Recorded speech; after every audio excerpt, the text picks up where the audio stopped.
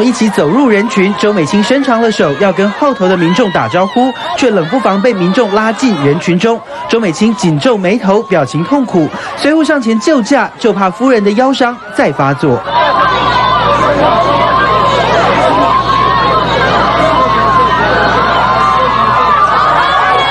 民众太热情，却苦了周美青。其实前一天跨年夜，周美青带领悠人神鼓表演时，不太顺畅的动作，就感觉到她的腰伤恐怕又发作。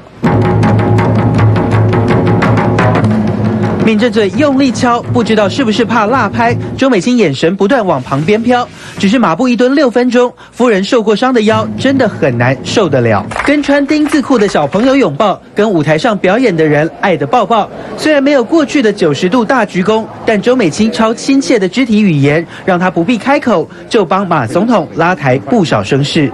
哇，大家看刚周美青哦，一脸痛苦的样子，因为被拉伤，她的腰哦，过去因为小朋友。看到他很兴奋，冲过来猛抱他，结果腰椎就受伤。那今天那个三总也有讲话说，哦，就是以他这个年龄哦，要很小心呐。哦，那他周美清后来也没有，就是就是今天没有来回诊。哦，那他们很担心，但是。我觉得哦，就说其实国人都希望周美娟啊，就是腰伤赶快好。我们哦新进场的来宾是邱毅委员，大家好，好久不见。对啊，对啊，其实邱毅委员哈，他现在在地方跑行程非常辛苦，但是我们可以看到周美娟哦，他国民党在前一阵子有人在问说，那周美娟什么时候开始浮选啊？国民党那时候讲说，大概选前两个礼拜，两个礼拜不就是今天？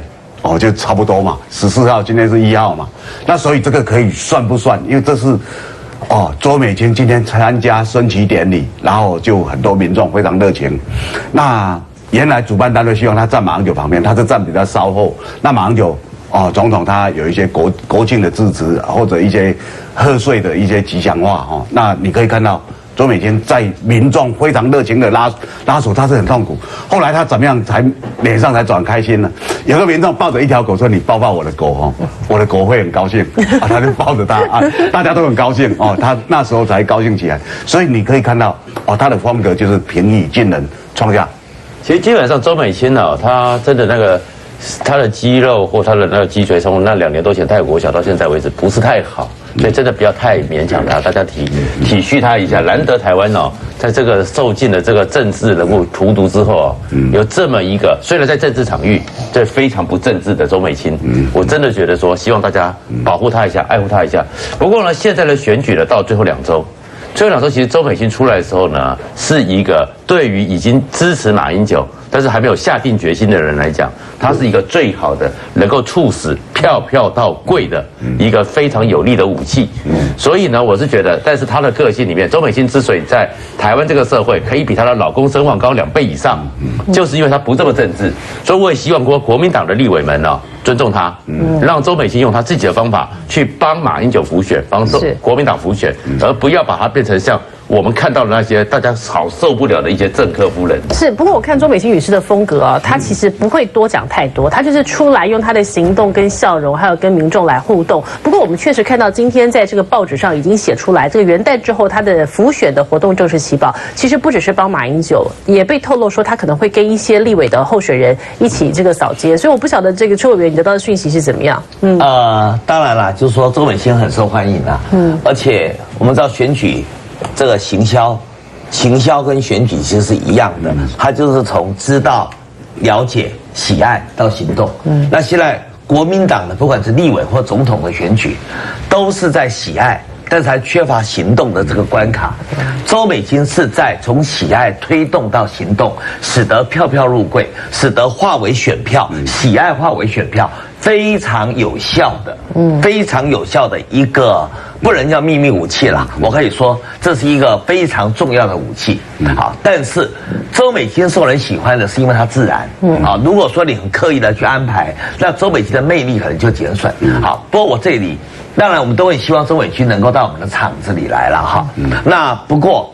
周美青既然身上有旧伤，要非常的小心啊，因为她毕竟没有太多选举的经验。嗯，一旦有旧伤的人，就像我现在，嗯，脚上有有有伤在身的时候，非常非常的危险，因为当选民对你热情，热情他不是恶意的，对他热情叫拉你，好，热情叫拉你。如果从远处拉你，你要跟他握手的时候，你就很可能被他拖动。一拖动的话，你有旧伤，旧伤会复发。那像我这种有伤在身的人，那更危险了。一拉拉那个坑，那马上这个伤口伤又严重了。所以我我是建议说，周美青既然有所谓的腰伤，在的救急啊，要特别特别的小心。是，嗯，但是我们可以看到哈、周美青啊，她这一次在哦湖选里面，其实很多人很早就寄予哦很高的期待。我也听过很多国民党的立委说啊，这呃不赶快来 哦，但是我我相信哦，他可能盘算里面。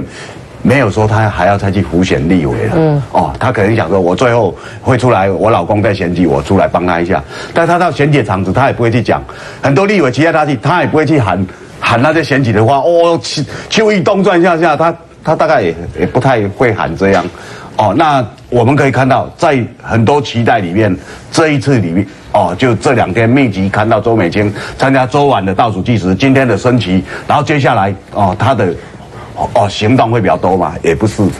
因为他过去其实就一直这样，只是媒体没有这样密集报道。那现在觉得说，在整个选战里面有周美青这一个人哦，大家报道起来，在新闻里面感觉上比较清新，比较不像选举。我觉得今天他会受伤这件事情哈，我觉得其实说明了他的一个诚恳。我为什么这样讲哈？因为其实你仔细去观察候选人，因为我们看候选人握手看太多了哈，他们的握手其实都是很保护自己的握手方式，就是。就是你知道范围一定是在这样的范围，手微微弯，然后握得到的地方。那这一次周美青她为什么会被脸上很痛苦的表情？是她自己主动伸长了远，因为她远处看到有人，她觉得远处的人她也想要握她一下，所以她把手给伸长。其实这是危险动作。但我觉得这就是有一点点不顾自己的一个。那当然民众是非常的热情，我觉得这凸显出来他的诚恳，就是他的弯腰九十度跟他的伸长手，其实都是他一种诚恳。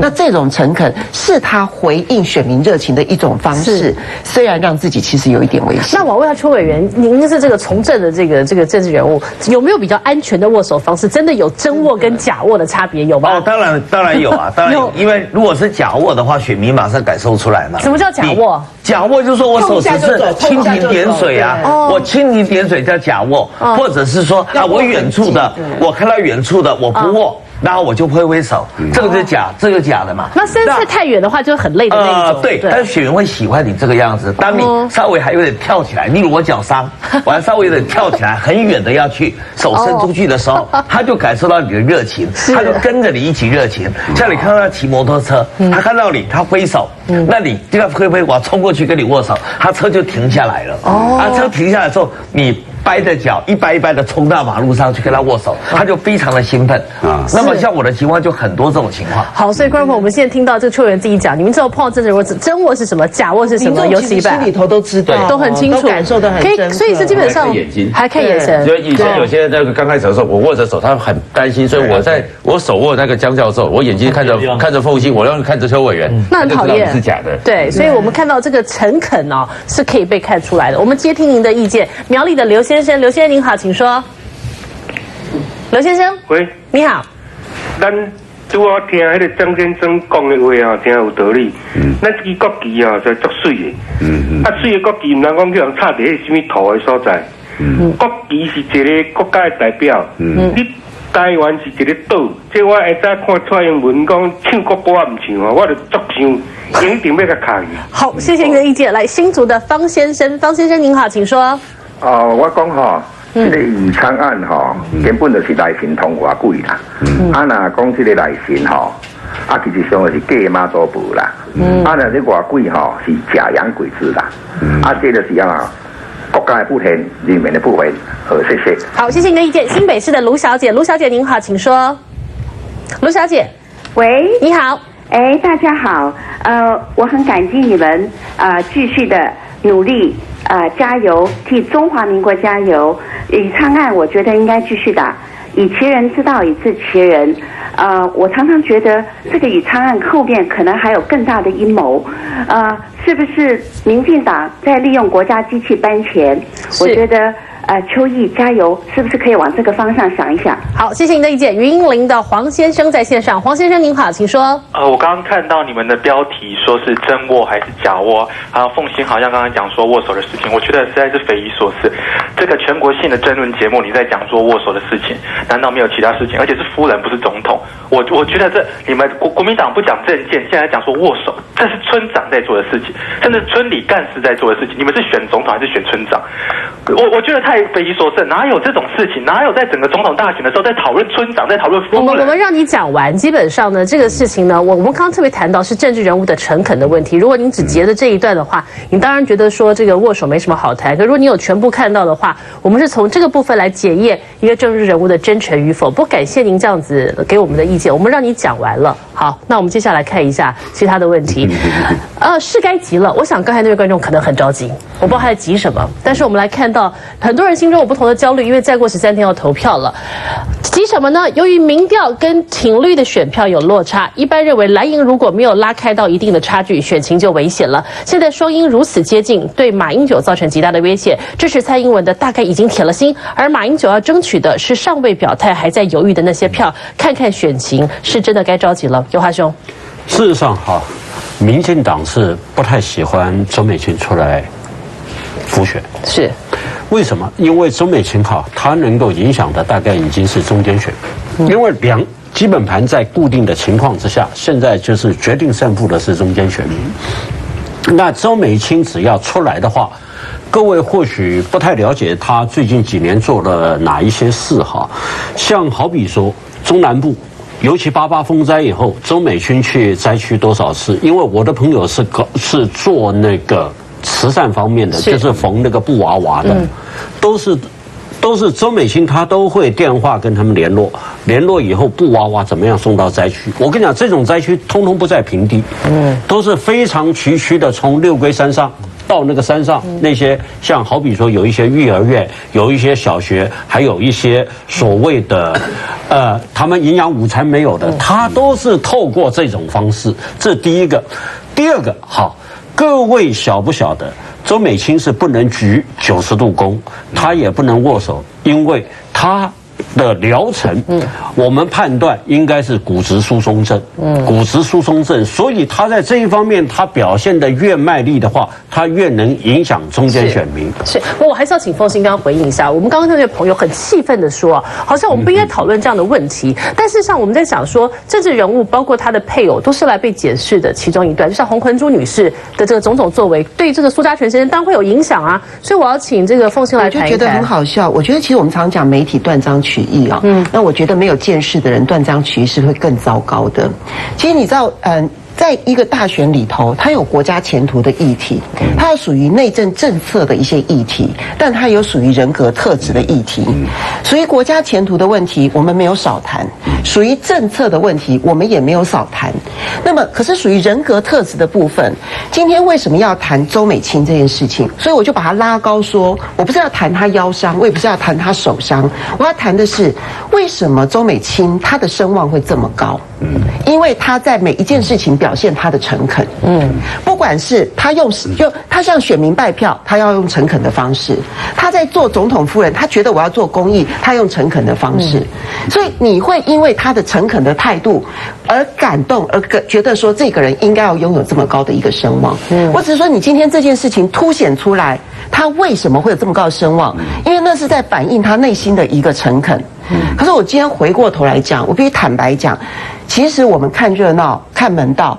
周美青其实早就开始浮选，我不要讲过去这三年多他所累积的声望，其实就是一种最大的浮选。其实你执政者最好的一件事情，就是你交出来的成绩单就最好的浮选。那周美青就是用这种方式。其实前一阵子，我相信他也有点点急，因为你会发现他最近常跑夜市，嗯。那过去媒体不会知道他在哪里的，可是最近媒体知道了。嗯，而且我其实特别注意到，过去他身边不会有一些地方政治人物，虽然大大家都很低调，嗯，但因为我们认得，所以你知道有一些地方政治人物陪同他去这一些夜市，是就凸显出来。我觉得他也急了。嗯，那对周美青来讲，他浮选最好的方式就是很诚恳的告诉大家。她的先生对这个国家是有帮助的。嗯，我觉得如果他相信，而且他也说服了人民，就是最好的一个复选了。对，但是我们其实可以看到哈，就周美娟啊，因为哦腰伤哦，其实你看媒体也是做头版，就是说他其实大家都很关心呐，哦，就是说关心，然后看到他那时候突然被拉过去那个哦一脸痛苦的表情，但是选一个总统哦，老实讲，就说他的家人当然也是被检验的啊。你看阿扁过去整个他整个家族的哪一个人，整个家族大家一起哦一起来哦做贪污洗钱这些事情呢，对不对？包括女婿都已经都被高度的检视，这个是一定，何况是总统的夫人，所以。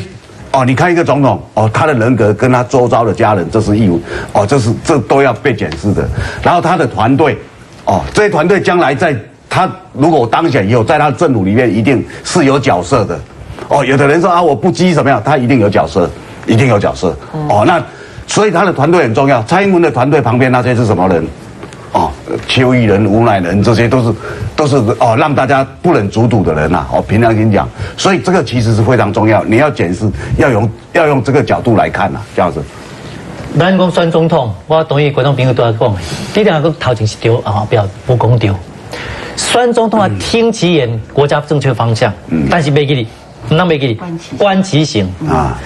周美青伊有互人感觉会感动是定金呐，咱单位讲定金的，做单的一种叫定金，阿舅嘛是同款。嗯，阿舅我还记得变啊，你选第一摆伫市场时，我哩甲你大把大家加济，我冲了甲阿舅，一句话甲你是蜻蜓点水，还是全部我你看手嘛？因为头前这四张安尼吼，我甲你蒙者，这蜻蜓点水无。小和尚年轻有破心，但是就就嫩诶，就迷诶。哦，迄种啊，面做眼睛呢，我也是看不上眼睛的，但头前做眼睛呢。啊，目前很认真。还还是后边变头前做眼睛，但他没讲哦。那周美青他没讲，让人觉得说他也是公益。当蔡英文在讲公益的时候，那个名义言辞的义，周美青做的是公共利益的义啊，都是公益，但是赶快。无讲在乎，嗯嗯，专门讲公益，无多打动人心。至少对我来讲，就是讲你跟他讲了，你不做。周美清是讲啊搞，做啊搞，也公益的时候，他不政治，不干政，做几个第一夫人应该做的代际，关心小朋友，在弱势团体当中，在最最弱势的地方为民众发极弱音，想睡下想应该有人恭维所在，一起走，嗯啊，你说这算不算浮选？我觉得。你可以说浮选，不可也不能说浮选，但是他们在讲啊，总统的美术一张信用信用卡，讲要有信用，啊，这么清是副卡，啊，那副卡一些价值比正卡高两三倍，这选后马总统自己要检讨一下。啊。不过这不是重点，重点说基本上更更来考虑用，中美金的是丁金，而手上没什么珠宝，没有对照组，他就用贝纽杰朗对照组，所以大家刚刚这人也也听心呐，哦，听你的心。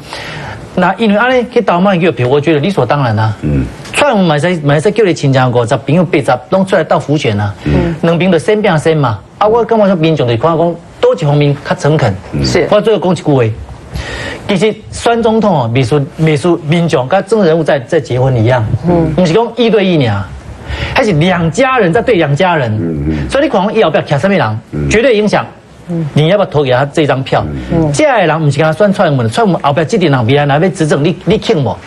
马上叫后边这点人要出来执政，你听我。我觉得这是一个比较公允的想法，你想想清楚了，那你就投票给他。好，所以我们刚刚看，如果说大家觉得好像只有要检视这个总统候选人的话，那当然是必然的最先的排序。可是我还是要讲，如果我们现在没有所谓的第一夫人，在民进党那边就是洪恒珠女士的话，为什么她最近都不出来了？因为她的事情太多了。民进党就是评估她会影响到一些视听观瞻，对于苏家全跟蔡英文会有影响。所以我还要回问这位观众朋友，您觉得总统候选人或是副总候选人的家人对选民的投？投票意向有没有影响？该不该解释？我们休息一下，马上回来。